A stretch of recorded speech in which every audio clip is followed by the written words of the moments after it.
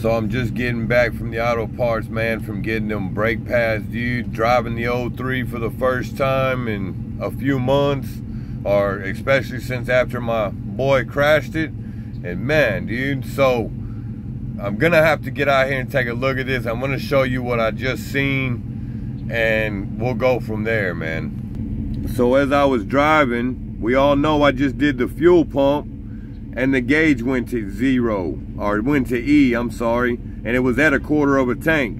And on top of that look at where that battery gauge is at. That's not normal. It's not charging correctly.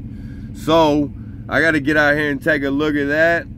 But if you watch my video from a little from just a few about an hour ago I would say then you'll know that I mean, I got a day full of stuff to do right now on the 09. So I wanted to put that out there. Video coming up on the 03 pretty soon. I got to get out here and take a look. And it also looks like we got to drop that tank, pull that fuel pump back out of there because that gauge is a part of that fuel pump. And I got to get it swapped out.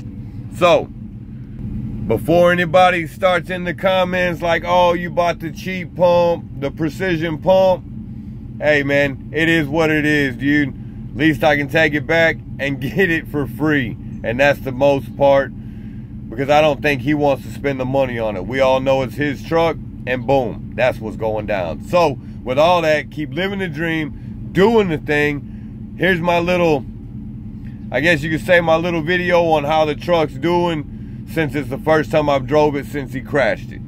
And I'm out.